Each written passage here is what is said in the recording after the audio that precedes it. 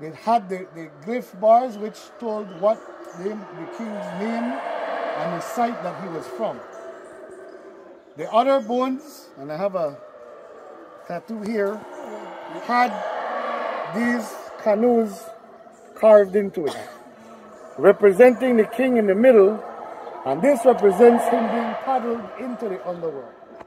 The other ones show him going down into the water, and they're splashing around, and that tells the story of that king. Now, if you think about it, that king was sacrificed, buried, he was dug back up.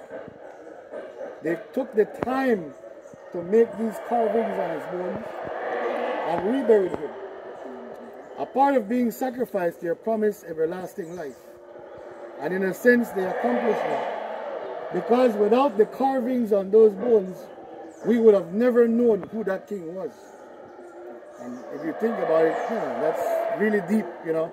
And it, it shows that your life did mean something. It was not just, uh, you know, a heartless killing, if you want to put it that way. There was some value to your life being sacrificed. All right? Now,